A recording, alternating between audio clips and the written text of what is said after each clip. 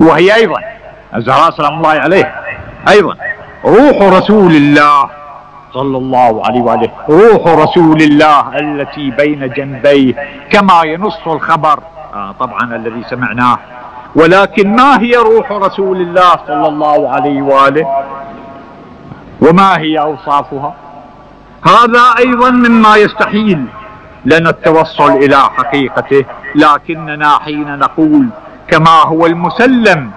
حين نقول كما هو المسلم لدى المسلمين والمتشرعة أن النبي صلى الله عليه وآله خير الخلق على الإطلاق وهو فعلا خير الخلق على الإطلاق فليس ذلك جسده ووجهه وعيناه مثلا أو أي شيء.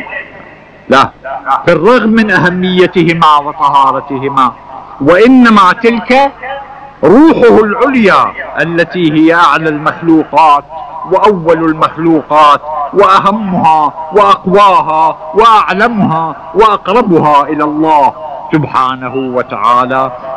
وهي خير الخلق. أجمعين بما فيها الأنبياء والمعصومين والملائكة وكل شيء آخر. ولذا كان رسول الله صلى الله عليه وآله سيد الأنبياء والمرسلين سيد الأنبياء والمرسلين. وقد بعث الأنبياء والمرسلون بالإيمان بنبوته وبميثاق ولايته.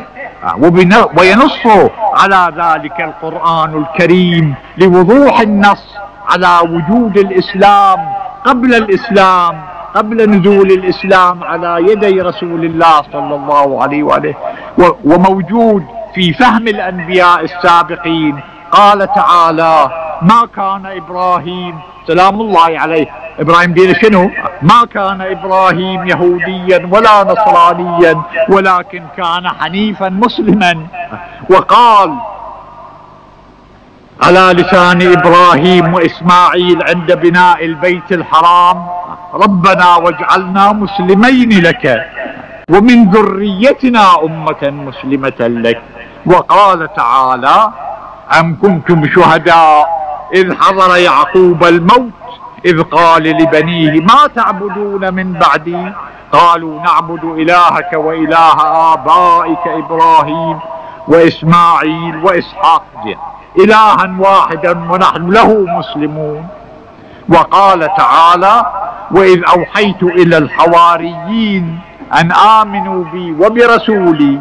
قالوا آمنا. آه واشهد بأننا مسلمون أو بأننا مسلمون إذا كنت لم احفظ الآية إلى غير ذلك من الآيات الكريمات.